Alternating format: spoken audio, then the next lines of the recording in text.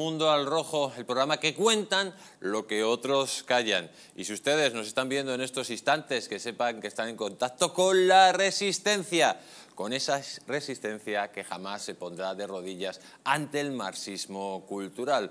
Porque nosotros, amigos, solo nos ponemos de rodillas ante el Todopoderoso. Hoy, 31 de diciembre, estamos a punto de acabar el año 2020 22, un año 2022 que nos ha traído guerras, inflación, paro, crisis económica y un gobierno Sánchez que pretende dar el golpe definitivo a la democracia española. Un gobierno Sánchez que actúa perfectamente y cumpliendo todos los parámetros que les han indicado los bolivarianos de Podemos, porque eso mismo hizo Chávez en Venezuela. Quien no quiera ver lo que pasó en Venezuela, pues lo verá directamente cuando pasa aquí en España, porque está siguiendo los mismos pasos. Y, amigos, el paso definitivo será el control del Poder Judicial. También hemos visto cómo Sánchez ha venido como si fuera Papá Noel y nos ha dado todas esas ayudas, todas esas ayudas al populacho para que lógicamente tengan ese voto cautivo y las próximas elecciones con ayuditas de Tezanos, a la ayudita del INE, la ayudita de Indra, y la ayudita de los medios de comunicación, pues si va juntándose todo, Pedro Sánchez continúe en el poder. Esperemos que no, porque para eso está aquí la resistencia, para contarle a ustedes las cosas, como le decimos, que no le cuentan otros, pero que no le cuentan otros medios ni de izquierda ni de derechas. Porque amigos, es que la corrupción periodística que hay en este país es alarmante, ya es muy alarmante y por eso tenemos que hacer el Mundo Rojo, este programa que está con todos ustedes, hecho para todos ustedes y sobre todo en una noche tan especial como hoy, que esperemos que la disfruten en familia. Hoy tenemos un programa que no se lo pueden perder. Les voy a hacer un pequeño adelanto para que ustedes se vayan motivando. Vamos a hablar de esos indicios de que, atención, lo que dicen algunas informaciones, que para el 2024 se pretende Pedro Sánchez acabar con la monarquía y el CNI está en pie de guerra. Lo vamos a ver hoy aquí. Elon Musk, atención, que va a acabar con la censura ha demostrado, hay documentos en Twitter que dicen que la CIA y el FBI estaban detrás de la censura de la red social Twitter, lo vamos a ir viendo. También está aquí don Roberto Centeno para hablarnos de los récords de Pedro Sánchez, atención, de los récords negativos, de cómo ha dejado el país y también de las perspectivas, no se lo pierdan, de las perspectivas de España para el 2023. Y también, amigos, estaremos hablando de lo que está pasando verdaderamente en la guerra de, Ucrania. Hablaremos de ese escándalo de las criptomonedas, cómo Biden y Zelensky se han estado financiando por medio de las criptomonedas esa empresa eh, FTX que ha ido a la bancarrota, que tenía, atención, un canal secreto con la Casa Blanca. Lo vamos a ver aquí también. Veremos a esa gente que se siente animal, eh, concretamente a una chica que dice que se siente cebra y que hay que tratarla como ella, que es discriminada por no ser eh, tratada como un animal. Señores, es que aquí lo cierto es que hay más animales y menos seres humanos. Y también hablaremos de lo que le preocupa al sanchismo, de eso que le trauma al sanchismo y con lo cual quiere acabar y que pretende acabar de todas formas porque es la único talón de Aquiles que tiene Sánchez y el cual puede hacerle perderle las elecciones. En definitiva, un auténtico programón que no se lo pueden perder, porque siempre le digo, quieren empezar con nosotros la rebelión. Pues la rebelión la inician con nosotros los mejores. Y con nosotros estará el gran Roberto Centeno, que estará aquí en el Mundo al Rojo. También estará hoy con nosotros Rubén Tamboleo, que quiere despedirse el año con todos ustedes desde aquí, desde Distrito TV, junto a Fernando Martínez Dalmao, de la familia de los Dalmaos. Cómo no, Santiago Milander Bosch, un clásico también en Distrito Televisión. También estará nuestra querida Teresa Gómez, la bella Teresa Gómez, que estará hablando de ese asalto al Tribunal Constitucional junto a nuestro venezolano de cabecera, el señor Pedro Luis Pedrosa, que estará junto a nuestro querido doctor, el colombiano de moda, don Pablo Victoria. También estará con nosotros nuestro querido César Blanco, que desde la llanura castellana intervendrá junto a Graciano Palomo. Y amigos, también estará el ex de la CIA, Ronaledo, nos va a contar las últimas novedades junto a, a nuestra querida Maybor Petit, que nos hablará desde la Gran Manzana. Un auténtico programón que no se pueden perder para todos aquellos que nos estén viendo, porque el programa de fin de año del Mundo al Rojo, amigos, es único para todos ustedes. Permítanme primero decirles dónde nos pueden ver. Nos pueden ver en Valencia, en Madrid, en redes sociales, pues por ejemplo en YouTube, en la red social de YouTube, está aquí un fuerte abrazo a Mari Carmen y a todos los amigos de, de YouTube. También nos pueden seguir en patreon.com barra distrito TV.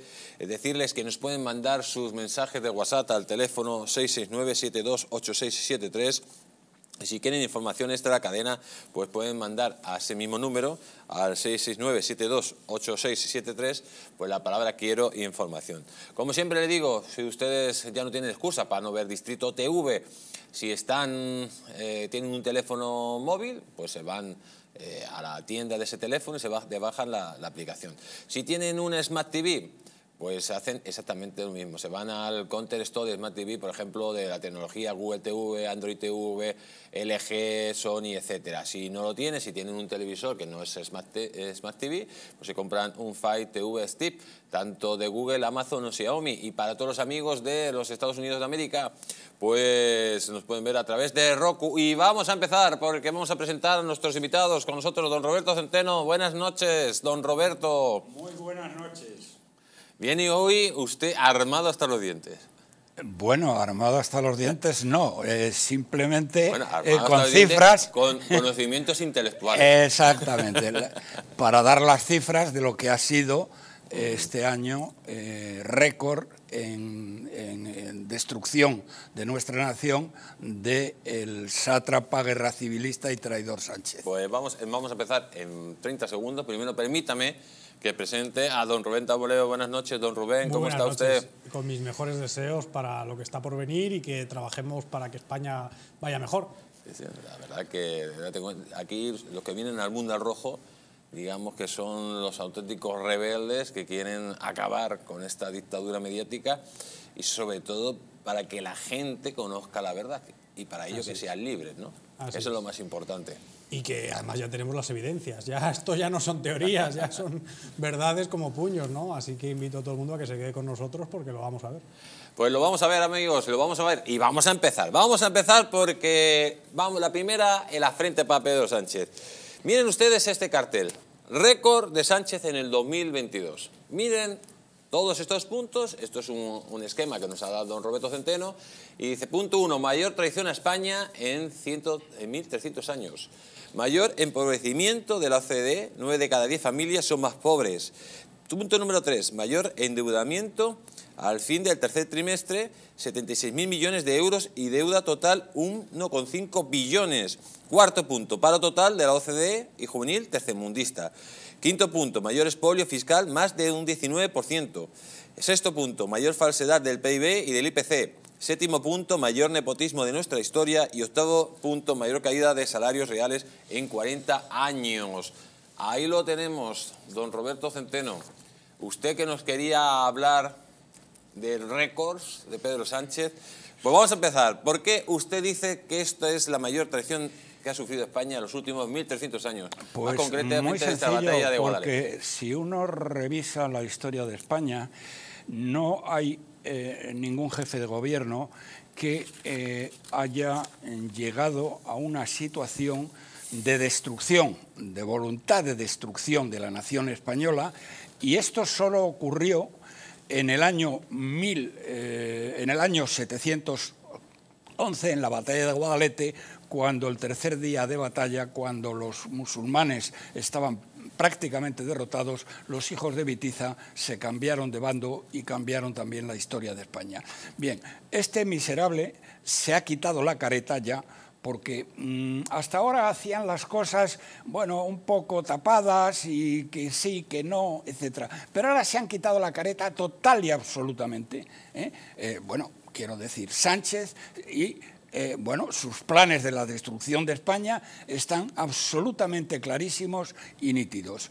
Y por lo tanto, eh, eh, desde luego yo en la historia de España, si hay algún otro, alguna otra persona que conoce a alguien, algún jefe de gobierno o persona importante que haya eh, cometido un delito de traición tan grande como este, quitando a los hijos de Vitiza.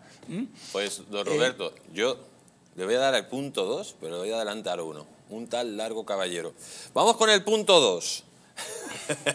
Mayor empobrecimiento de la OCDE eh, nueve de cada diez familias son más pobres. No, largo, bueno, largo caballero. No, yo le da uno, usted dice Pedro. Bueno, pero bien, eh, no, de acuerdo, podría, podría discutírselo. Es mucho más grave lo que está haciendo. Largo caballero, que era un criminal. Bien, bueno, mayor empobrecimiento de la OCDE. Miren ustedes, somos eh, desde que empezó la pandemia, el país que más se ha empobrecido y peor política económica ha seguido. La peor de todas y el que más ha caído. Ha habido seis países eh, europeos que nos han adelantado en renta per cápita, pero países eh, pobres de solemnidad, como Chipre, como Malta, como Lituania, como la República Checa, nos han adelantado en renta per cápita. Pero este año concreto, el año 2022, mm, en donde dicen que vamos a crecer un 4%, eh, que no sé quién, luego hablaremos de ello un momento, eh, nueve de cada diez familias españolas se ha empobrecido. En este año, en los otros cuatro años, pues mucho más todavía. Mm, somos más pobres. El tercer punto es, además de eh, empobrecernos porque los salarios han caído más, por la inflación, etcétera, etcétera, eh, hemos llegado a tener el mayor endeudamiento de toda la Unión Europea. Las últimas cifras conocidas por el Banco de España, publicadas y conocidas eh, por, mm, por la Comisión Europea, son a tercer trimestre, es decir, estoy hablando de final de septiembre. 76.000 millones de euros se habían gastado esta panda de golfos y criminales que nos gobiernan. 76.000 millones de euros eh, que nos han endeudado. Con lo cual hemos llegado ya a un récord increíble de 1,5 billones. Y ojo, esa es la deuda que los burócratas corruptos de Bruselas llaman deuda según protocolo de déficit excesivo, porque la deuda total es mucho mayor, es de 1,9. Luego, el, siguiente récord es que el paro total de la OCDE España tiene el doble. Es el que el país de la OCDE, de los 37 países que componen la OCDE, el que tiene un mayor paro. Y el paro juvenil, que está por encima del 30%, ya se sale del dibujo. Es decir, es tercermundista, sencillamente tercermundista. Y además, mm, les digo a los jóvenes que me escuchen, con la mitad de los que me escuchan, con esta chusma, no tendrá ninguna posibilidad de conseguir trabajo en los próximos cinco o seis años. ¿eh? Eso además. Vamos con el 5 y el 6. 5 y el 6. Bien, mayor expolio fiscal. Bueno, han subido los impuestos de una manera brutal, sobre todo porque no han deflactado, eh, porque no han deflactado toda una serie de impuestos, como se han deflactado en otros países, como es el IVA, como es el IRPF, con la subida de la inflación, y en total el 19%. 40.000 millones de euros, señoras y señores. Entonces, y estos tíos ahora van a dar 200 euros, o 300, que no me acuerdo cuánto es, ¿eh? que es una miseria, porque claro, de los 40.000 millones de euros van a repartir algo así como 4 o 5.000 millones ¿eh? de esta manera, y los otros 35.000 millones sirven para financiar este gobierno socialcomunista de terroristas, con, terroristas y criminales golpistas como en Cataluña. Bien, luego el, Instituto Nacional de Estadística, desde la época de Zapatero, ha venido mintiendo sistemáticamente en las cifras de eh, PIB, eh, de IPC y de todo. ¿eh? Nosotros denunciamos en su día cómo el PIB de España está, está inflado en un 16%. ¿eh? Y esto lo, lo, estudió uno de los mejores institutos económicos de Alemania, el Instituto de Kiel, se lo mandamos a Bruselas, se lo mandamos, pero como son unos corruptos, al final no hicieron nada. Bien, este año están mintiendo de una manera tremenda. Miren ustedes, primero el PIB. El otro día van y nos dicen que el PIB del tercer trimestre no había crecido lo que ellos habían dicho, sino la mitad. ¿Eh? Habían dicho el 0,2 del 0,1. Pero hay amigos, dicen que han subido ¿eh? los del primer trimestre y segundo trimestre. Mira, no tenéis vergüenza. Yo entiendo que no pueden hacer otra cosa.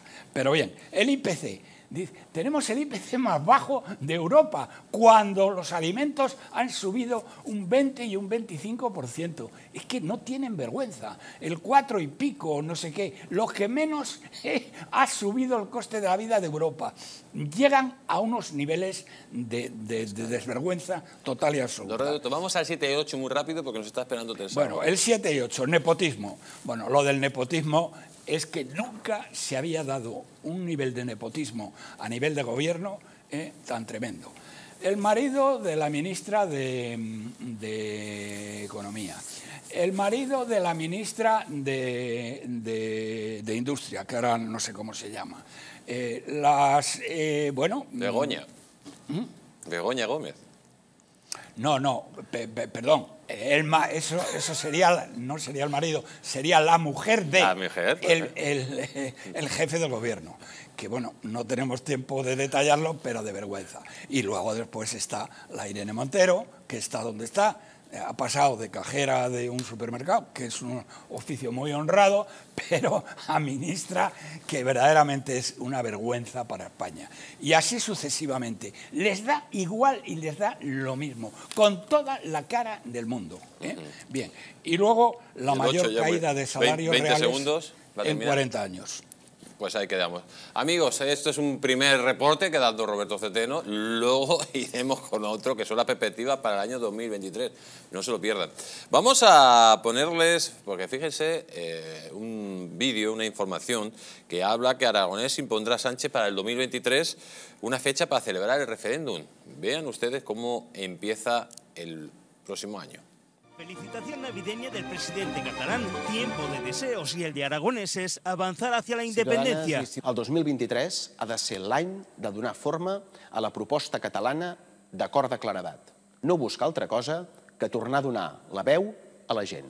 Quiere plantear al gobierno un acuerdo que siente las bases de un referéndum de autodeterminación, algo que el propio Sánchez... No va a haber ninguna consulta de autodeterminación.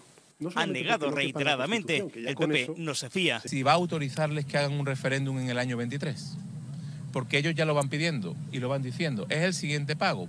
Piden que Sánchez lo vuelva a aclarar este martes. El presidente comparece para hacer balance político del año en un contexto marcado por las reformas de los delitos de sedición y malversación, por el choque institucional entre el Parlamento y el Constitucional y por el bloqueo del Poder Judicial, que han elevado la tensión y la división política. La división hace más frágiles a las democracias. La unión, todo lo contrario, las fortalece. Una división sobre la que alertó el rey en su discurso de Navidad. De la Unión Europea. Pues teníamos a Su Majestad el Rey diciendo que la unión hace más fuerte a los que están unidos y lógicamente ese gobierno que tiene una cercanía muy directa con el grupo, grupo de Puebla ha tenido el apoyo directo del juez, corrupto Garzón y del Grupo de Puebla. Miren lo que dice esta noticia, el Grupo de Puebla se suma al asalto judicial de Sánchez y sus socios. Dice que el asalto al Constitucional es una acción concertada de gobierno y sus socios es cada vez más evidente y el, conocido Grupo de Puebla acaba de dar un nuevo argumento. Ha emitido un comunicado para manifestar su preocupación y condenar la acción del Tribunal Constitucional para proteger la caravana española del asalto de la izquierda. Atención a esta gente. Tenemos al otro lado de Sky a Teresa Gómez. Buenas noches, Teresa. ¿Cómo estás? ¿Qué tal? Buenas noches. Un día muy especial. Teresa, eh, estamos viendo, Teresa, cómo se prepara, según Aragonés, un auténtico referéndum para el 2023, cómo Garzón y sus compinches del Grupo de Puebla pues han salido todos al ataque para atacar al Tribunal Constitucional. Eh, ¿Esto va a tener solución? viendo los pasos que están haciendo esta gente, son pasos eh, pues, que se dieron perfectamente en Venezuela y en otros países de, de Hispanoamérica, ¿no? Sí, eh, creo que tiene una solución bastante complicada, porque es cierto que lo que se está llevando en España es un golpe de Estado, la toma de las instituciones desde dentro, desde una eh, aparente legalidad a través de la aprobación de leyes que son totalmente inconstitucionales y eh, que obligan al acatamiento de, las mismas hasta que la Corte de Garantía decida dentro de 11, de 11 años si son constitucionales o no. Y cuando ya la Corte de Garantía decida pronunciarse, eh, estoy segura que en España ya no quedará ni tribunal constitucional ni separación eh, de poderes. El, golpe de Estado que están dando desde el gobierno, o por parte del gobierno más bien desde, desde dentro, es el mecanismo que ya se ha llevado a cabo en, en, otro, otros países de Latinoamérica como Venezuela, como México. Por eso ellos apoyan precisamente el cambio que se está dando en, en España, ¿no? porque es la manera en la que se puede, en la que van a poder implantar eh, una, una, dictadura de extrema, de extrema izquierda y apoyada, por supuesto, eh, por no solamente por Podemos, y es que Sánchez, independientemente de que tenga unas ideas más o menos próximas a Podemos, está dispuesto absolutamente a todo, y así no lo ha demostrado durante los años que ha estado eh, gobernando, está absolutamente dispuesto a todo con tal de permanecer en la Moncloa. Si eso significa romper a España, ceder una parte del territorio a sus socios independentistas, hacer que en España haya una mayoría de o eh, eh, la extrema izquierda en el poder gobernando, le da, le da igual con tal de, seguir en, el poder, ¿no? Y, una de las eh, cesiones que tiene que hacer Sánchez a, sus socios, por una parte es la toma del poder judicial, que esto por parte de Podemos es uno de los requisitos fundamentales para poder pues subvertir el orden constitucional en España, como bien digo, que ha ocurrido en, otro, en otros países de, Latinoamérica, también cederle esa parte a los independentistas catalanes y cederle una parte del, territorio eh, nacional. Por eso Sánchez tiene eh, como objetivo ya no tanto la Audiencia Nacional, el Tribunal Supremo, que cualquiera podría pensar, bueno, el Tribunal Supremo porque es el tribunal eh, que, les puede condenar ¿no? por, por llevar a cabo determinadas medidas. No, él quiere ir a por la máxima institución, a por el Tribunal Constitucional, para que el Tribunal Constitucional ya no solamente tenga una mayoría de izquierda, que la tendrá, por supuesto, sino que a la cabeza del Tribunal Constitucional esté Cándido Conde Pompido, que es otro igual que Pedro Sánchez. Es una persona que con tal de llegar a la cima, con tal de llegar a lo más alto, está dispuesto a todo. Le da igual aliarse con uno que aliarse con, con, el contrario. Entonces, Sánchez quiere poner a Cándido eh, Conde Pumpido, no solamente le basta que haya una mayoría de izquierdas en el Tribunal Constitucional, que eso es irremediable y la vamos a tener, sino que quiere a Cándido como presidente para que al año que viene, cuando sus socios independentistas, posiblemente convoquen un referéndum ilegal, el Tribunal Constitucional, el máximo garante de la democracia, le diga que eso es constitucional y se pueda celebrar ese referéndum ilegal con una apariencia de, legalidad.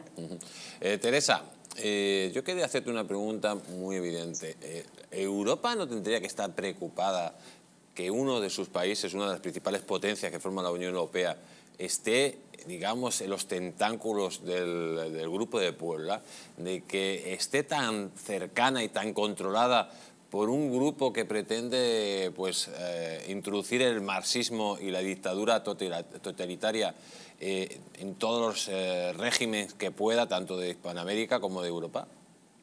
Pues Europa debería estar preocupada. De hecho, en los últimos años, eh, siempre en España, eh, cualquier juez con, el que pudiese debatir sobre este tema y sobre la separación de poderes, eh, siempre se mostraban tranquilos porque decían que, bueno, que España pertenece a Europa y que eso Europa no lo va a permitir. Si le vuelves a hacer la misma pregunta ahora, a cualquier juez del Tribunal Constitucional, del Tribunal Supremo, de la Audiencia Nacional, ya no te contestan de una manera tan contundente, porque hemos podido ver cómo Europa no ha hecho absolutamente nada cuando se le ha pedido que interviniese en eh, pues las pretensiones de Sánchez de derogar el delito de sedición, en el bloqueo para la renovación del, Consejo General del Poder Judicial, en querer meter en, eh, en, las instituciones, en el Consejo General del Poder Judicial, a jueces que son de todo menos imparcial, como Ricardo de Prada, como la juez eh, Victoria Rosell, y Europa no ha hecho absolutamente nada salvo venir a España, no sabemos muy bien a qué, a decir que efectivamente hay que renovar el Consejo General del Poder Judicial, como si eso desde hace cuatro años no lo supiésemos ya, y eh, no ha hecho absolutamente nada. Por lo tanto, está dejando con su inacción que Sánchez viole las instituciones. Por tanto, no creo que ese paraguas que anteriormente teníamos de, bueno, nosotros estamos bajo el paraguas europeo y no nos puede pasar eh, lo mismo que en Venezuela, que, que pasó también en, Ecuador con Correa, que pasó, eh, que está pasando eh, en Colombia con Petro o que también ha pasado en México, ya cada vez estamos más desprotegidos y, Europa está mirando hacia, hacia otro lado. Entonces sí que creo que se pueden cargar las instituciones. Ahora mismo yo creo que algo fundamental es saber si Cándido Conde Pumpido va a llegar a la presidencia del Tribunal Constitucional o no. Y de eso depende que el bloque de izquierda del Consejo General del Poder Judicial no siga bloqueando el nombramiento, porque si no se llega a un pacto y si no se llega a una mayoría de tres quintos, eh, finalmente... Eh, que es lo que quiere el bloque de izquierda del Consejo General del Poder Judicial, es esperar para que el Gobierno, a través de una ley que es totalmente, valga la redundancia, ilegal, apruebe eh, un sistema de, minorías diferente al que ya está establecido de la mayoría de tres quintos en el Consejo y que pueda proponer a su candidato que elegirá luego a Cándido Conde Pumpido a la presidencia del Tribunal Constitucional. Así que si eh, finalmente se consigue que el Consejo llegue a la mayoría de tres quintos y no aupar a José Manuel Bandré al Tribunal Constitucional, yo creo que ahí ya habremos tenido un gran avance, por lo menos, para que Pumpido no sea el presidente del Tribunal Constitucional y al menos para que, aunque haya una mayoría de izquierda en el Constitucional, constitucional no se le ceda una parte de, del territorio a los independentistas catalanes y no se declare de manera que no se declare legal un referéndum que es totalmente ilegal y que va en contra de la Constitución. Teresa, te deseamos eh, que este próximo año, el 2023, pues que tengas muchísimo salud, muchísimo amor y muchísimo dinero y que pases una noche muy especial con tus seres queridos. Muchísimas gracias y os deseo un feliz 2023. Cuídate mucho, Teresa. Fuerte abrazo. Un fuerte abrazo.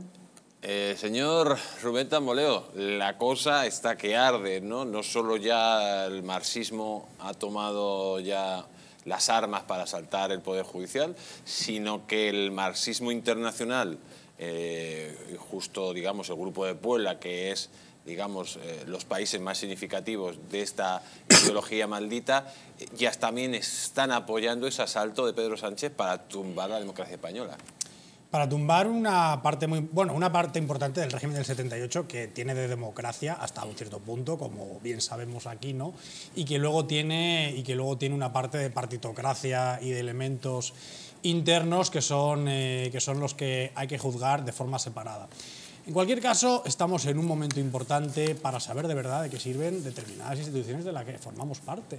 Tanto este año 2022, que nos han hablado de los beneficios de formar parte de la OTAN, una OTAN que no protege el 100% de nuestro territorio, ni nos ha protegido eh, de ciertas cosas, o de la Unión Europea especialmente, que eh, nos decían que gracias a la Unión Europea no pueden pasar determinadas cuestiones que están pasando, pues es hora de que como españoles nos preguntemos y especialmente convenzamos a todos aquellos que nos han intentado vender la moto de que con la Unión Europea esto iba a ser un vergel de grandes oportunidades y de, maravillos, de, de maravillas celestiales, pues que eso estamos viendo que no sucede. Y también pues, eh, nos cabe preguntarnos, y aquí lo hacemos de forma crítica, de qué sirve de verdad la jefatura del Estado, ¿no? porque, porque al final este discurso de la semana pasada ha sido un discurso en el que cada cual ha querido ver lo que le interesaba pero en verdad tampoco es que haya, haya tomado una determinación clara ni eh, defienda el propio régimen político que, es el que le sostiene y el que quiere que herede su hija.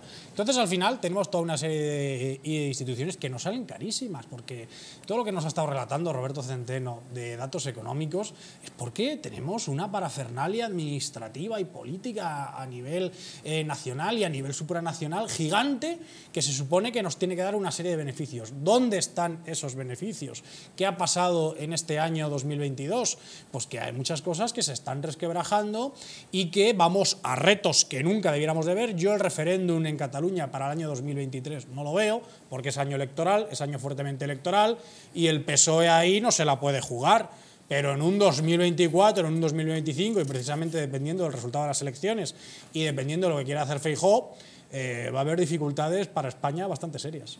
Pues amigos, si ustedes ven dificultades, Fíjense lo que decían, referéndum para el 2023, pero atención a esta noticia que dice que la monarquía podría caer en el 2024. Escuchen, dice un terrible rumor sobre el golpe de Pedro Sánchez a Felipe eh, V pone en alerta al CNI. Ahí tenemos la noticia, dice el portal Alerta Digital y precisamente nos alerta de una operación que podría estar en marcha para arrinconar al rey Felipe VI de la jefatura del Estado. Un plan de Pedro Sánchez. Es un rumor que se viene alimentando en las redes sociales, pero que también se comenta cada vez más fuerte, de forma insistente, en algunos eh, círculos influyentes de España. De hecho, Tal y como recuerda el citado portal, el prestigioso rotativo británico Financial Times publicó este pasado verano un negro augurio para los Borbones, comparando su futuro con las caídas de la monarquía italiana en 1946 y griega en 1974. Parecería ser que los servicios de inteligencia trabajan en un esquema como el portugués, donde la Casa Real no ostenta el trono, pero interviene en las principales empresas del país y aparte tiene presencia vitalicia en el Consejo de Estado. Cuenta en Alerta Digital Diego Herchoren que el Centro Nacional de Inteligencia se ha convertido en la guardia personal de la Casa Real y que en los despachos oficiales y círculos de inteligencia parece haber puesto fecha a una eventual crisis institucional que va a obligar a la familia real a dejar paso a otra forma de gobierno. No hace falta ser un lince para advertir que España está abocada a la revuelta, pero la pregunta es si antes, ante una inestabilidad social y económica, la monarquía caerá defenestrada o mediante la salida negociada relata la mencionada información que desde al menos 2017 en las grandes empresas españolas se habla y se estudia la caída de la monarquía lusa de los Braganza.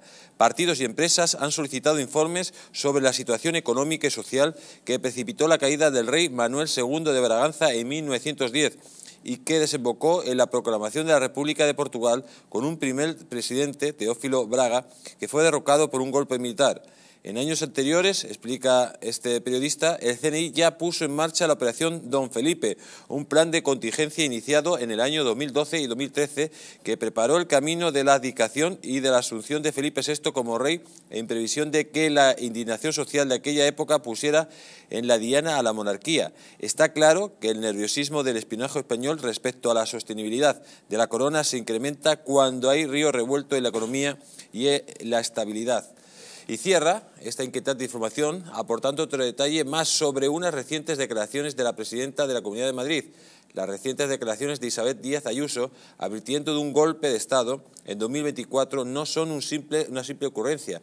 Refleja que esta clase de cargos eh, transmiten lo que oyen en los centros económicos que los dirigen, por lo que la caída de Felipe VI en esas fechas es algo más que un simple rumor. Don Roberto Centeno, se la pongo como se la ponía Felipe V, Felipe VI, o séptimo, o, el que usted quiera. Fernando VII. A Fernando VII. Eh, es evidente que este golpe de Estado que lleva dando Sánchez, la destrucción de las instituciones, tiene un fin, eh, que es la, caída de la monarquía. O sea, quien no quiera verlo es que es tonto o es, o es ciego directamente. Y es evidente que eh, la monarquía sabe de esos problemas. Es verdad que el discurso que hizo la, la pasada semana fue un discurso muy ambiguo, que valía para todo, valía para, para el PSOE, para el PP, para vos, para todo valía, pero no valía para el ciudadano a pie, no valía para España, que es la que está en necesidades. Cuando surgen estas noticias, eh, yo creo que hay que tenerlas en cuenta, porque esto es la conclusión de un plan que están estableciendo los marxistas y el señor Sánchez. ¿no? Bueno, vamos a ver. Eh, referente al discurso del rey, como lo escribieron en Moncloa, pues eh, dijo lo que dijo. Pero yo quiero señalarles a ustedes una cosa. Todas estas personas, todos estos traidores de opereta que están amenazando la destrucción de España, sean los criminales golpistas catalanes, sean los terroristas de ETA, sean el siempre traidor PNV, sea el grupo de Puebla, ¿eh? Son unos mindundis que no tienen media bofetada ¿eh? para España, no tienen media bofetada.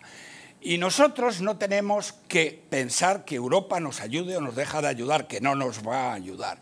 España tiene fuerza más que suficiente para aplastar como cucarachas que son a esta gente. Les relato una cosa o les recuerdo una cosa ¿eh? para que la tengan en cuenta, porque es que parece que estos tíos nos van a arrollar y no tienen media bofetada. Miren ustedes, en el mes de octubre del año 34, el genocida de Companys, porque fue un criminal que firmó 8.000 sentencias de muerte, ¿eh? salió al banco de la Generalitat y declaró la República Catalana. Debió ser como a las 8 de la tarde. Bien. A las 10 de la noche, el general Batet, eh, que era el jefe militar de Cataluña, que tenía 200 soldaditos, ni siquiera tenía, ni, que, que, no eran profesionales, no era la Guardia Civil, no eran 200 guardias civiles, eran 200 soldaditos, los sacó a la calle y una hora después se había terminado la República Catalana. Estaban todos en la cárcel ¿eh? o corriendo como conejos hacia los Pirineos. Bien, entonces, ¿qué narices significa esta chusma criminal de Cataluña? ¿eh? que dicen que quieren la independencia. Porque fíjense ustedes, además de algo, es que es inaudito.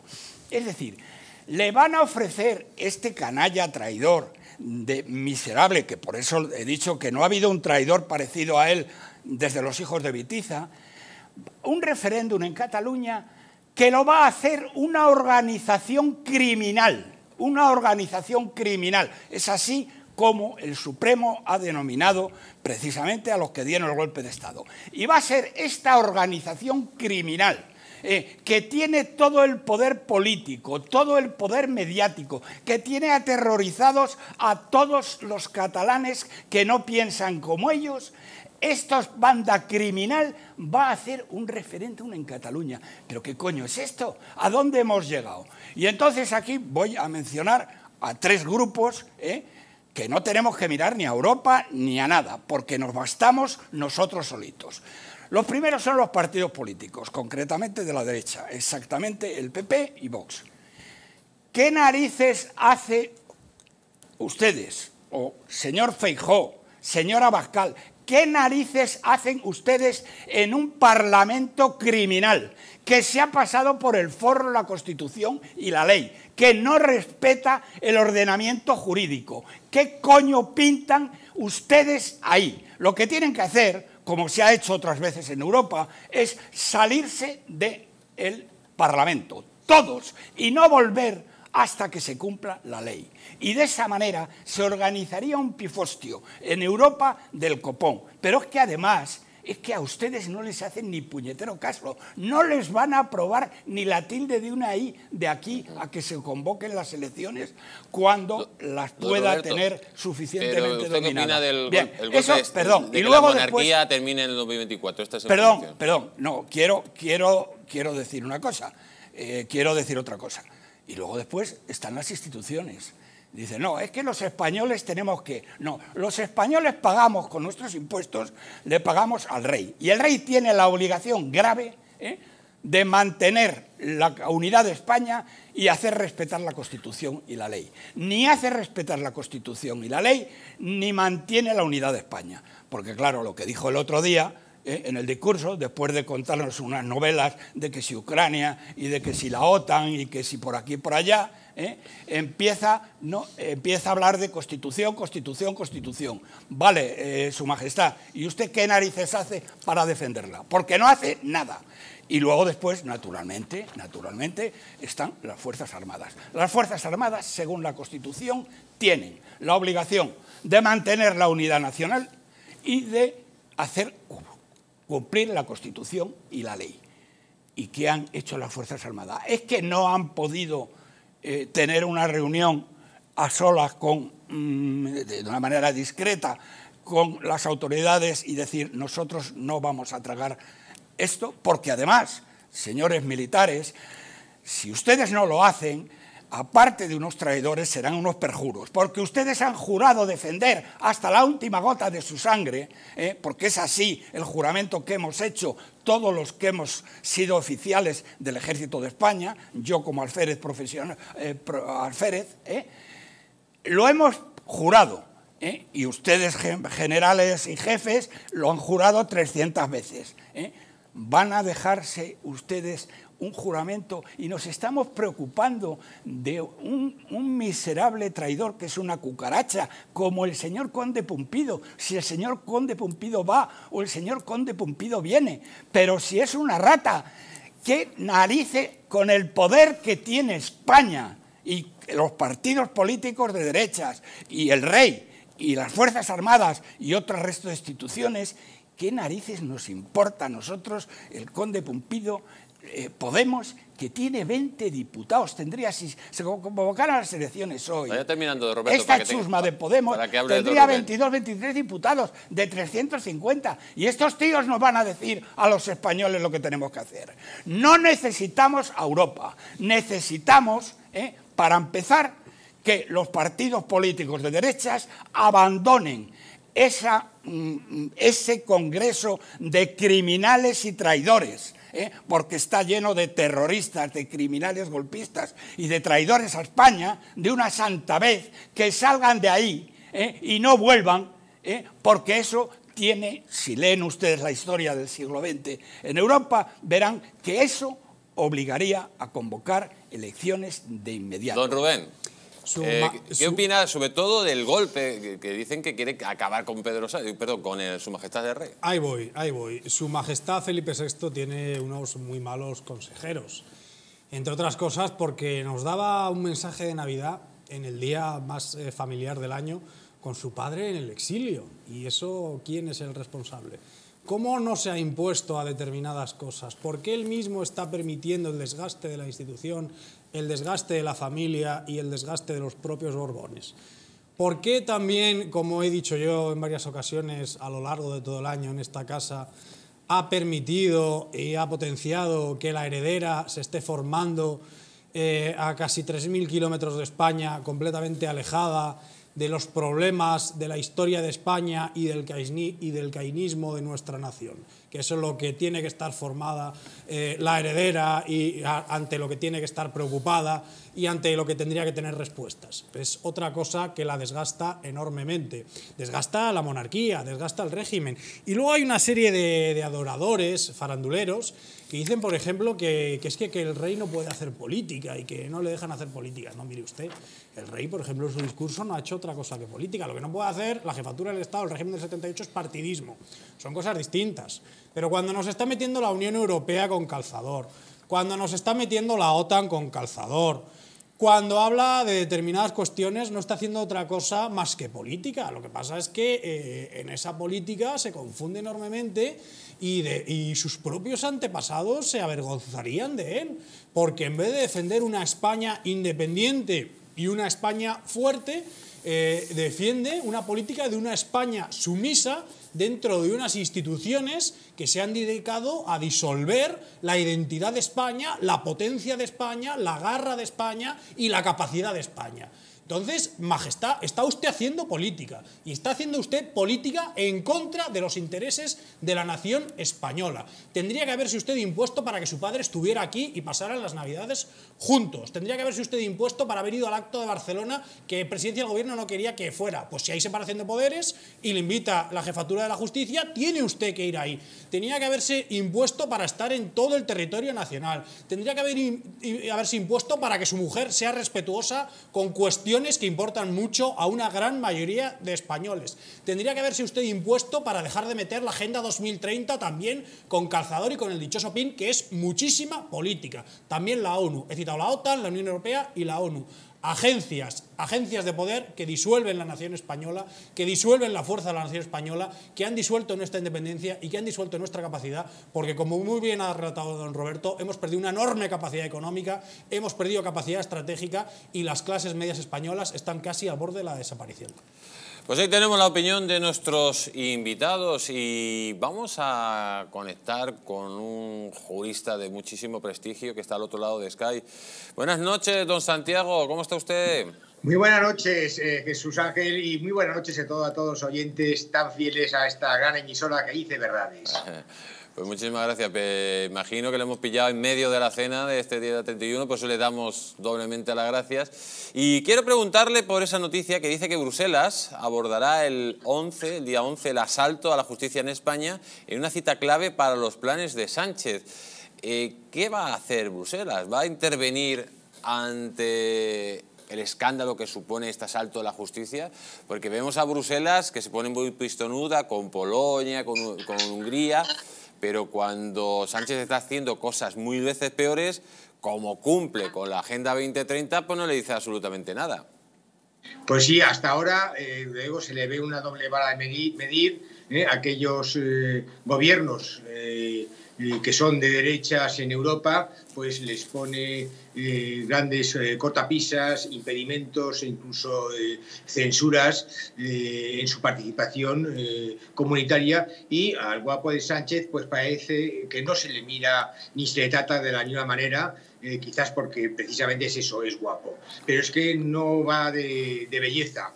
Ahora mismo el Banco Europeo ha puesto el alarma en cuanto a que está deficitario, habrá que aportar por parte de los Estados miembros y entonces será el momento en que tendrá que rendir cuentas y ver si tantas leyes, tantos beneficios, tantas subvenciones, bueno, pues tienen una eh, justificación eh, comunitaria y yo me imagino que será un primer toque serio, no creo que a nivel de Polonia y Hungría, pero hacia el gobierno Sánchez porque acabamos un año donde, desde luego, no solamente lleno y repleto de leyes polémicas, de contravenir indicaciones respecto al Poder Judicial, eh, ahí está el informe Greco y los, eh, las sentencias que se han dictado tanto en Luxemburgo como en, en, Estrasburgo, y en donde se pone en solfa pues, lo que está haciendo el gobierno Sánchez con el Poder Judicial.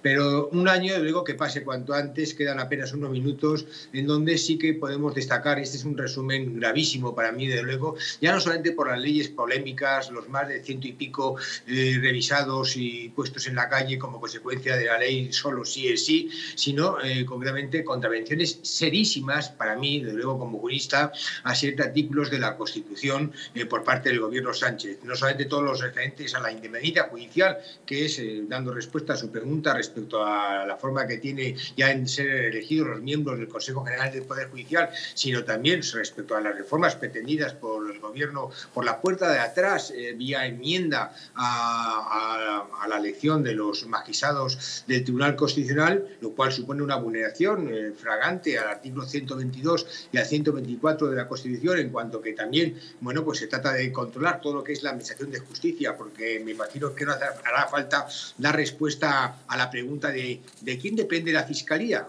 Pues eso. Y no solamente el 122 y el 124, sino a mí me preocupa muchísimo todo lo que ha habido en cuanto al incumplimiento a las sentencias del Tribunal Superior de Justicia de Cataluña en cuanto al mínimo del 25% de, de lengua vehicular en castellano, que implica una vulneración al artículo 3 de la Constitución y que el Gobierno no hace nada eh, para eh, hacerlo efectiva. Al artículo 118 en cuanto al cumplimiento de las resoluciones eh, judiciales, y en este caso al Tribunal Constitucional, que se ha puesto en duda incluso por parte del gobierno, del propio gobierno, eh, respecto al último auto dictado eh, en cuanto a la admisión, a trámite del recurso de constitucionalidad por la vía utilizada de, de gustar al Parlamento el debate que corresponde a una reforma de la ley orgánica, de una ley orgánica, al artículo 27 de la Constitución en cuanto que se está ahogando pues todo lo que se refiere a la educación concertada y privada, toda vez que la propia Constitución establece que los padres tienen el legítimo derecho a elegir el centro y la educación que quieran desde el punto de vista religioso para sus hijos, al artículo 20 en cuanto a la libertad de cátedra, eh, fatídica la ley de memoria democrática que impide desarrollarse y exponer eh, su pena de tener la censura inmediata de los poderes del Estado en cuanto a lo que se refiere a hablar eh, con libertad de un periodo de la historia, eh, el llamado la época del franquismo, y luego al artículo 86, porque es que se están produciendo una cantidad de decretos leyes eh, que luego viene la convalidación eh, y que recuerda tanto a la época de Benito Mussolini, eh, que con el rey Víctor Manuel III, bueno, pues dejó de promulgarse leyes y que todo iban a ser decretos que iban a ser luego amparados por el propio Parlamento italiano. Todo esto aderezado además con las sentencias del Tribunal Constitucional que declaran inconstitucional los, los estados de alarma que han privado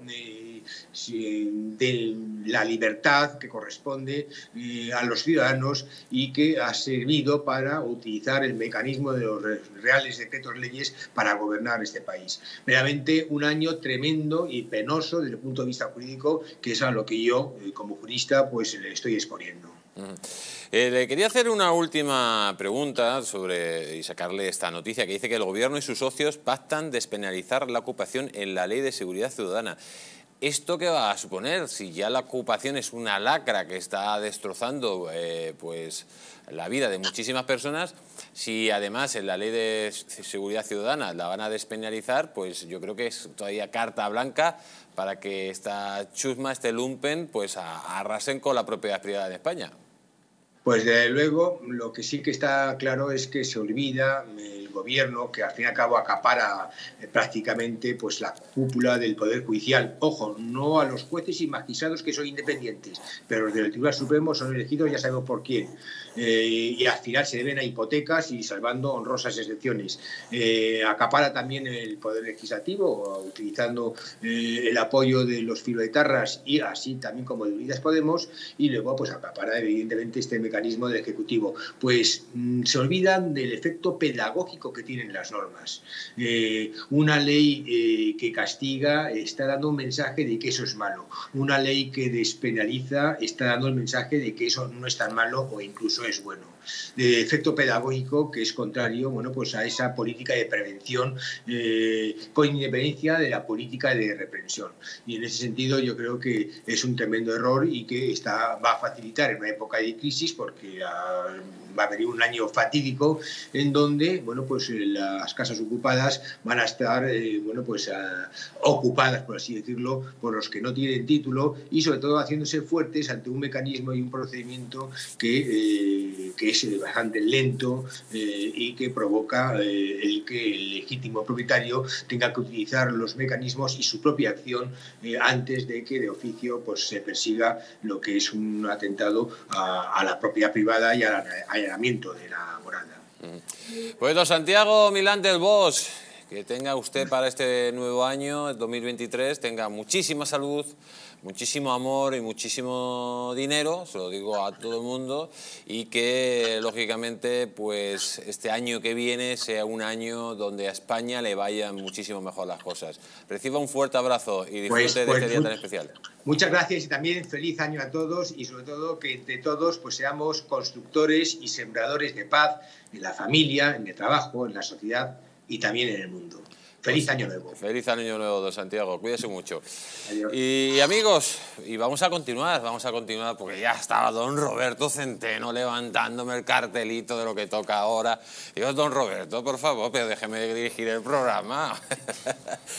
vamos a seguir, amigos, porque don Roberto Centeno tiene unas perspectivas económicas para el 2023. Vamos a poner el cartel, a ver si nos lo pone. Ahí las tenemos. Estas son las perspectivas eh, que nos mm, ha hecho don Roberto Centeno. Dice, presupuesto general del Estado es más falsos de la historia. Número dos, entrada en depresión económica. Número tres, necesidad de deuda por 260.000 millones de euros, de los cuales 90.000 millones eh, en los mercados, o sea que España entra en quiebra.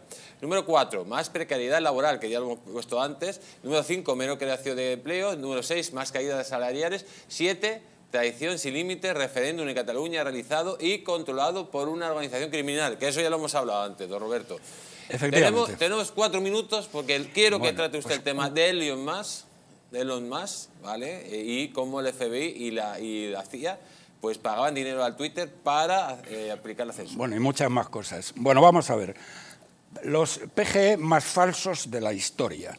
No voy a entrar en detalles. ¿Cuál es el problema aquí? El problema es que estos presupuestos generales del Estado los tiene que aprobar la Comisión Europea y sobre todo la presidenta de la Comisión, Ursula von der Leyen. La política más corrupta de Europa. ¿Cuánto le pagan, señora von der Leyen? Igual que le pagaban los de Qatar a altos cargos y Marruecos a altos cargos eh, de, la administración de Bruselas, que es la administración más cara, más incompetente y más corrupta del mundo. Porque, fíjense ustedes, nada más les doy una cifra. estos tíos, esta chusma que nos gobierna, ha dicho que el PIB, que es la columna de hierro de los presupuestos, va a crecer el 2,1%. En realidad va a crecer menos del cero, ¿eh? pero la propia Unión Europea, la propia Comisión Europea dice que va a crecer el 1. Entonces, ¿cómo narices, señora von der Leyen, va a aprobar usted estos presupuestos? Bueno, pues los va a aprobar. La pregunta que le hago, ¿cuánto dinero le pagan a usted? señora von der Leyen, y a su banda de golfos que tiene alrededor. Tan es así que la responsable del control de los, eh, de los fondos europeos ha puesto el grito en el cielo porque ha dicho hace unas semanas que le han dado a España 31.000 millones de euros de fondos europeos y no tienen ni idea de en qué se los han gastado ni por qué. Y les ha dado de plazo hasta final de enero. En el mes de febrero va a mandar a sus propios auditores para saber en qué narices se ha gastado el gobierno de España 31.000 millones. Dice que eso es una vergüenza que no ha sucedido en ningún otro país. La cuestión es, Van der Leyen, ¿cómo permites eso? Mucho te están pagando. Bien. Bueno, entrada en depresión económica. Esto significa que los próximos trimestres, este trimestre en el que estamos, que termina hoy, y el, y el, primero del año que viene, ¿eh? por mucho que mienta el INE y miente todo, ¿eh? no van a poder ocultar que estamos en negativo y por lo tanto habremos entrado en una depresión económica técnica. Bien, necesidad de deuda. Esto no es que lo diga yo, es que esto lo dicen los presupuestos generales del Estado. O, o sea, que es esto o más. 260.000 millones. ¿Por qué? Porque se necesitan, según los presupuestos, 70.000 millones de deuda nueva y eh, el resto para refinanciar vencimientos de deuda. Pero hay, amigo, el Banco Central Europeo ha dicho que no puede dar este dinero y que España tiene que conseguir 90.000 millones de euros en los mercados.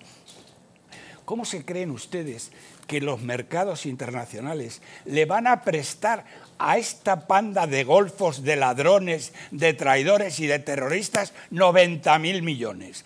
Eso, desde mi punto de vista, es imposible. O sea que aquí hay dos alternativas. O bien el Banco Central Europeo se baja los pantalones, que es probable, y sigue dándonos dinero gratis et amore, o España entra en quiebra. Porque 90.000 millones en los mercados internacionales, este gobierno de sinvergüenzas no los consigue ni loco. Y luego, mayor precariedad laboral, menor creación de empleo y más caídas salariales. Eso es lo que va a ocurrir. Quiero darles una cifra que mm, es la siguiente, para que vean la enorme diferencia de una política económica y de otra. Es el caso de Madrid. Si Madrid, si Madrid, bueno, con, con esta deuda que tiene España de 1,5 billones, eso representa el 116% del PIB. Si Madrid se sacara de España lo que produce y, lo que, y los impuestos que paga, ¿eh? España, lo que queda de España, quitando Madrid, que está gestionada por Isabel Díaz Ayuso, por si alguno no lo sabe todavía, pasaríamos a, a tener una relación deuda-PIB del 141%. Es decir, que la gestión de Isabel Díaz Ayuso le quita 26 puntos ¿eh? de PIB a la relación deuda-PIB. Con 141% España estaba intervenida como lo estuvo Grecia en el pasado. Eso es para que vean ustedes la importancia que tiene la política económica que sigue la Comunidad de Madrid. Pues ahí queda. Eh, señor Tamboleo. Brevemente, yo voy a hacer mis perspectivas sociológicas y perspectivas políticas, porque es cierto, esto que estamos viendo aquí, de la cuestión económica es absolutamente cierta, pero hay un sistema mediático eh, económico-social que impide que la población española, una gran parte de la población española, tenga la percepción de esto que está sucediendo. Y entonces eh, yo voy a poner una barrera muy clara. Si de los eh, ocho gobiernos más importantes en los que está ahora mismo el Partido Socialista, incluyendo la vicepresidencia de Santander llamada Cantabria, por el régimen del 78, no se le da la vuelta a cuatro, no se le da la vuelta a cuatro, Sánchez se puede quedar en Moncloa. Entonces, ese es mi pronóstico. De las 12 comunidades autónomas que van a elecciones ahora en 2023, si las ocho que están en el fuerte poder del Partido Socialista no se le da la vuelta, por lo menos a cuatro, Sánchez se puede quedar en Moncloa. Entonces, atentos, eh, muy atentos, porque ahora las elecciones más importantes son las autonómicas y si no se le da la vuelta por lo menos a Valencia, Extremadura, eh, Castilla-La Mancha y la provincia de Santander, eh, también estaría en juego Baleares y demás, al final hasta un total de ocho donde se juegan las cosas, si no se le da la vuelta por lo menos a cuatro, Sánchez se puede quedar en Moncloa porque hay una mayoría del pueblo español a través de redes clientelares, a través del sistema político, mediático, una parte del judicial, el sistema social, este sistema de ayudas, un Estado que está recaudando más que nunca y que reparte eh, migajas, porque al final reparte migajas, pero que eso hace que la percepción social cambie. Si no se le da vuelta a esas por lo menos cuatro comunidades autónomas eh, que están en manos del Partido Socialista, Sánchez se puede quedar en Moncloa. Pues amigos, ahí dejamos las predicciones de nuestros sabios y ahora vamos a continuar, vamos a continuar, eh, pero permítanme, permítanme que presente al señor Fernando Martínez Dalmao, que se ha incorporado a esta mesa. Don Fernando, buenas noches, ¿cómo está usted? Muy buenas noches, eh, felices fiestas a todos y y un saludo muy grande y próspero año. ¿Usted es de los de felices fiestas o de feliz Navidad? Feliz Navidad, por supuesto, ante todo, pero, pero bueno, para cortar digo felices fiestas todas, ¿no? todas. Pues, eh, don Fernando, la iremos ahora incorporando ya en la tertulia. Pero antes tenemos un tema que teníamos que hablar con don Roberto, que es el siguiente, que es, eh, dice, los nuevos documentos de Twitter, atención, incautados por Elon Musk, demuestran que la CIA y el FBI han estado dirigiendo la censura, no solo en la red social del pajarito, sino también en YouTube, Facebook, Pinterest, Reddit, Verizon y Microsoft. Dice, la la agencia Central de Espionaje aparece en esos documentos como la OAG, otras agencias gubernamentales. Atención a este bombazo informativo, amigos, que llevamos años denunciándolo y nuestras denuncias, cuando luego nos llaman conspiranoicos, pues se van cumpliendo pues se van cumpliendo. Decíamos que hay una gran censura en las redes sociales. Efectivamente, lo pudimos en las elecciones de Estados Unidos, hasta el punto de que el señor Donald Trump pues le retiraron sus cuentas en las redes sociales. Hasta el punto al presidente del gobierno de Estados Unidos, ojo. Imagínese lo que nos hacían o nos han hecho a nosotros. Don Roberto Centeno, es evidente que la entrada de, de este señor en Twitter pues está sacando a la luz lo que era un secreto a voces, la censura en redes sociales, donde no solo estaban metidos gobiernos, sino organizaciones gubernamentales, en este caso como la CIA y el FBI. Bueno, efectivamente, eh, verdaderamente, eh, eh, primero para que tengan ustedes una idea y los árboles no les impidan ver el bosque, quiero decirles que las redes sociales de Estados Unidos, que son las grandes, que son Twitter, Facebook, YouTube, eh, Wikipedia, están en manos de activistas de izquierda radicales. ¿eh? La prensa norteamericana, la importante, el New York Times, el Washington Post, el Boston Globe, el Miami Herald, etcétera, están en manos de eh, radicales izquierdistas. Las grandes cadenas de televisión, con la excepción de la Fox, la CNN eh, y todas las demás están en manos de esta gentuza. Elon Musk, que es un genio, eh, que, eh, bueno, las cosas que está haciendo, muchas las conocen y otras no. Por ejemplo, quiero decirles una para que vean, porque es de ciencia ficción lo que este hombre está haciendo tiene una empresa que se llama Neurolink que está conectando y va a conectar el cerebro con los ordenadores. Es decir, bueno, eso es ya la pera. Pero bien, este señor, eh, que es la segunda fortuna del mundo, ha tenido la decencia, la honestidad y la, la de moral de decir, me voy a gastar, porque lo tengo, 44.000 millones de euros en controlar la mayor de todas estas redes sociales y que ha sido, eh, eh, digamos, la clave de la mentira y la clave de que Biden esté hoy en el poder, que es Twitter. Bien, ha comprado Twitter eh, y lo que está descubriendo, bueno, lo primero que hizo cuando entró en Twitter fue poner en la calle a la mayoría de los directivos. Que todos ellos son unos delincuentes y espero que no sea solo el que vayan a la cárcel, espero que vayan a la cárcel, porque son unos auténticos delincuentes. Bien, ¿qué está descubriendo eh, Elon Musk en Twitter? Pues dentro de todas las, eh, eh, de todos los mm, datos e informaciones que tenía, los documentos que tenía Twitter, me comentaba ayer, y creo que va a intervenir y se lo puedes preguntar, eh, eh, nuestro querido amigo ex de la CIA, eh, Ron Aledo, capitán de las Fuerzas Especiales de Estados Unidos, me comentaba que mm, hace unos cuantos días eh, Elon Musk ha denunciado nada más y nada menos, señoras y señores, lo que hemos venido diciendo aquí, que la teoría de la conspiración es cierta. Es decir, ¿qué quiere decir que la teoría de la conspiración es cierta?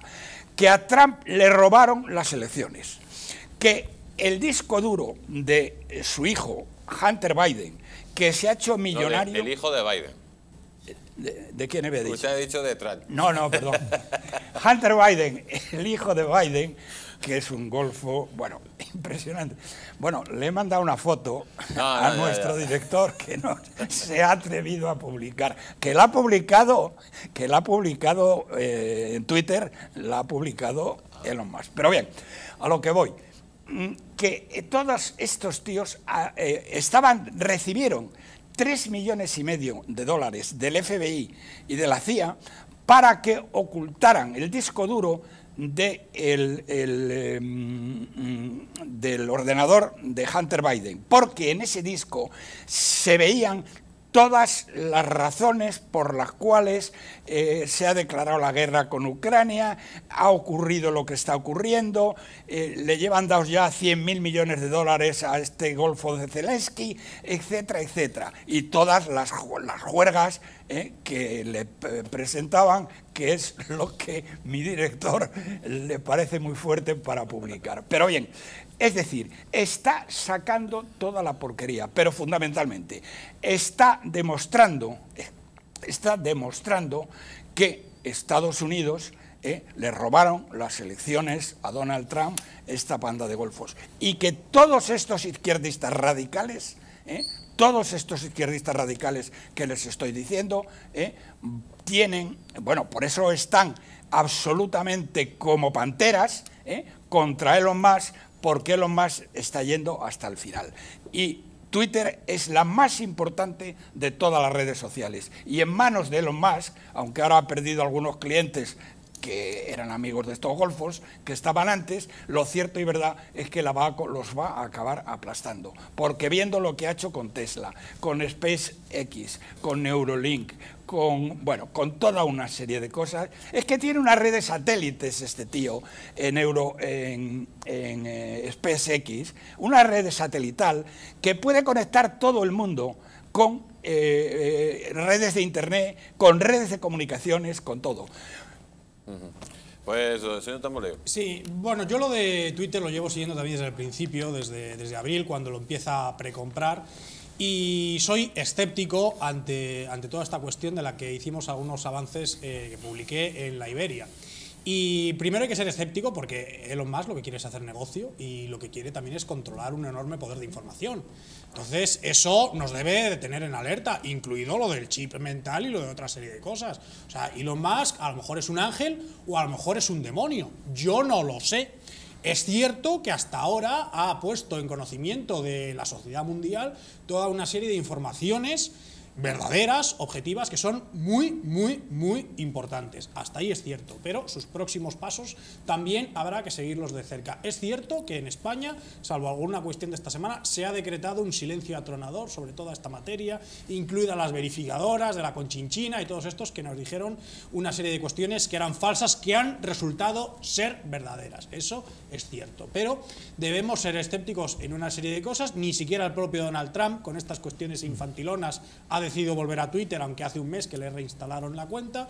Él ha decidido no volver porque tiene otra red, otro medio social por ahí en el que también está invirtiendo. Aquí hay muchas cosas de negocios que son eh, igualmente importantes y se han descubierto algunas cosas que deberían estar abriendo titulares en todo el mundo porque son tenebrosas, son verdaderamente tenebrosas. ¿Qué se ha descubierto? ¿Qué da miedo? Pues da miedo que las agencias de inteligencia están usando los medios sociales, ya sabemos lo de Twitter, pero desde luego con Meta por el lado de Zuckerberg y con el lado de Google, estoy convencido de que también están usando para, los están usando para censurar, para meter determinado tipo de informaciones y que especialmente con la cosa que no podemos aquí ahora mencionar, porque estamos en todos, en todos los medios, pues con esa cosa que ustedes ya saben, porque nos siguen y nos ven también en Dailymotion, pues ahí ha habido censura pura y dura para imponer una narrativa y para imponer una verdad y para que no se pudiera contradecir una gran parte de lo que estaba pasando y de lo que está pasando ahora. Y eso ahora se sabe y es fidedigno, se sabe y es fidedigno que personas muy concretas del FBI estaban ahí eh, manipulando el discurso, poniendo determinadas informaciones y estaban censurando. Estaban censurando en elecciones, estaban censurando con todo el tema Biden, estaban censurando con lo de Brasil, estaban censurando con toda esa cosa que vino del este del mundo, estaban censurando en temas económicos que alteran los mercados, estaban metiendo información para alterar y que en el caso de España a toda una serie de personas nos estaban silenciando, haciendo shadow banning también para eh, minar y beneficiar a la agenda WOC, a la agenda de San Francisco y eh, a toda una serie de cosas que tienen ideas que no son solo marxistas. Las ideas maltusianas de reducción de la población y de control de la población son también muy tenebrosas, tienen muchísimo impacto actualmente y vamos a ir a un 2023 cargado de cuestiones y de, y de asuntos que son muy, muy, muy importantes y que debemos ser vigilantes para terminar de saber si Elon Musk es ángel o demonio. Eh, me viene don Roberto la palabra, pero si, si, son 15 segundos, sí, don Roberto. 15, segundos, no paso de 15 segundos, porque eh, acabas de decir que se ha decretado el silencio total en España sobre el tema de los más. Y entonces creo que es, digamos, de una persona honesta el darle las gracias a Susana Griso y a Antena 3 que el martes pasado me hicieron una entrevista sobre esta y que publicaron, vamos, y que dijeron todo lo que yo pues ya, había ya, queda dicho, don Roberto. Yo, antes de ir a publicidad, le voy a poner un vídeo a Fernando Martínez Dalmao, ya que entra en el debate, para que vaya tomando un poco, vaya calentándose. Vamos a poner este vídeo que mm, a las claras, hablábamos de Elon Musk y de la, su inteligencia, que era capaz de, de conectar ordenadores con el cerebro, pues esta gente yo creo que eh, más que conectar ordenadores con el cerebro, se conectan ordenadores, amigos, con, con cierto cerebro de ciertos animales. Escúchenlos. Nunca quise ser vicepresidenta del Gobierno y fui designada eh, por los medios de comunicación. Ya lo han oído, dice Yolanda Díaz, que fue designada vicepresidenta del Gobierno por los medios de comunicación. En aquel momento fue su antecesor en el cargo quien la eligió a dedo y fue el presidente del Gobierno quien la nombró vicepresidenta. No me distraigo, me estoy dejando la piel por trabajar por mi país. Dice Yolanda Díaz que se deja la piel. Es esta una expresión bastante común entre los dirigentes de ese sector político a la izquierda del PSOE. Así lo aseguran invariablemente desde que llegaron a las instituciones. Es, como van a ver en algunos ejemplos, una cuestión de piel. Las instituciones. Nos vamos a dejar la piel. Nos estamos dejando la piel. También nos vamos a dejar la piel. Mientras nosotros estemos en el gobierno, nos vamos a dejar la piel. Nos vamos a dejar la piel. Nos vamos a dejar la piel. Yolanda Díaz, que se va a dejar la piel. Me voy a dejar la piel. Me voy a dejar la piel. Por tanto, mm, nos vamos a dejar la piel. Nos vamos a dejar la piel. Me voy a dejar la vida, la piel. La piel. La piel. Y el, en fin, eh, la piel. Más de un año. Ocho años dejándonos la piel. Trabajando y dejándose la piel. Como siempre digo, Hugo. Nos vamos a dejar la piel. La piel, como ya lo hemos hecho dejándonos la piel. En el gobierno. Y como siempre digo, voy a seguir dejándome la piel. Nos estamos dejando la piel. Me dejaré la piel. Nos dejamos la piel. ¿Usted cree que yo hago electoralismo cuando me estoy dejando la piel? Como escribió el gran Aristófanes y traducido a grosso modo, la juventud pasa, la inmadurez se supera, la ignorancia se cura con la educación y la embriaguez con sobriedad. Pero la estupidez dura para siempre. ¿Sigue usted pensando que seguimos gobernados por incultos? Sí, sí, sí. sí Yo también. Pues amigos, ahí lo tenemos. Si esta gente se deja la piel, tiene que tener la piel como unos callos impresionantes, porque si se están dejando la piel cada vez que hablan, pues lógicamente estarían ya despellejados, señor Dalma, muy rápido. Bueno, pues muy rápido. Mientras ellos se dejan la piel, a nosotros nos, nos quitan todo el dinero y nos dejamos el dinero. Con lo cual, cuanto menos se dejen la piel ellos, menos dinero vamos a perder nosotros. O sea, Así de usted que dice que se queden con toda la piel del mundo y nos dejen en paz. Que no queremos que, se queden nada. con to- Este año es año de elecciones y estamos en guerra. Se acabó. Ellos fuera y nosotros dentro, porque si no nos quedamos sin un duro. Pues amigos, están escuchando a nuestro querido Fernando Martínez Dalmao. Y antes de ir a publicidad, le voy a hacer el siguiente mensaje. ¿Conocen ustedes el mejor hotel de la Costa del Sol? Hotel Las Dunas, un lugar mágico en el corazón de la Costa del Sol, en primera línea del mar, situado en un oasis de armonía y tranquilidad, enfocado en la salud y bienestar de nuestros huéspedes, desconectar del estrés y la monotonía del día a día, fines de semana de relax. Estancias con programas exclusivos y personalizados de salud, rejuvenecimiento y control de peso, elegancia y bienestar junto al mar, sin renunciar a la actividad y la vida saludable. Descubre las Dunas Hotel Spa, el más exclusivo de toda la Costa del Sol. Amigos, nos vamos a publicidad, va a ser un minuto, no se vayan, porque vamos a volver con Ron para hablar de la última hora de la guerra de Ucrania. Y verdaderamente vamos a hablar de esa verdad oculta que oculta los medios de comunicación. Todo eso después de la publicidad, no se vayan.